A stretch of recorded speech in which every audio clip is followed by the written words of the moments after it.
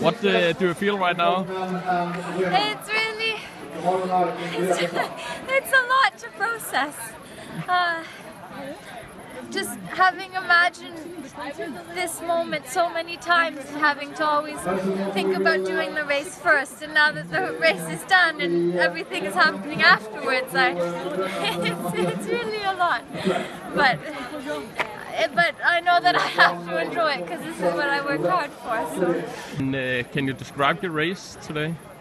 It was, I mean, I really, every, it just felt like I was doing everything like usual for the beginning, like just reading the map, finding the controls, reading the route choices, and then um, after the long leg cut to the 10th control, I started feeling quite quite tired. And really like tough physical feelings and uh, from then I had to put quite a lot of energy into just pushing pushing hard. And when I heard that I was in the lead then all of a sudden I thought okay I guess I have to push really hard now. And then I forgot a little bit to be reading the map.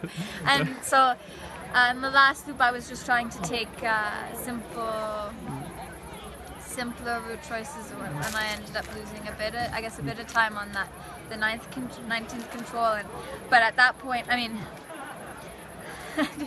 I was this far from just collapsing and it was all I could do to keep running uh, and keep fighting right to the end. so I don't like I don't regret anything. I, it was just I put everything I could into, into the race so.